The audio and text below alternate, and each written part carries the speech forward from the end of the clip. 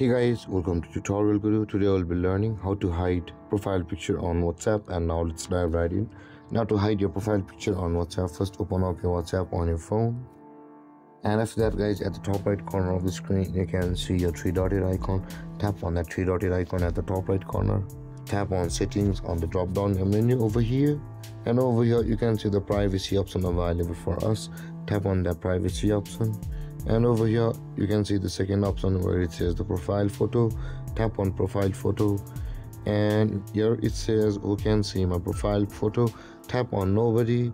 And if you want your contacts to see your profile photo then tap on my contacts or my contacts except choosing your whom you don't want to show your profile photo to and with that doing with that being said go back and tap on the nobody and your profile photo will be hidden from everybody.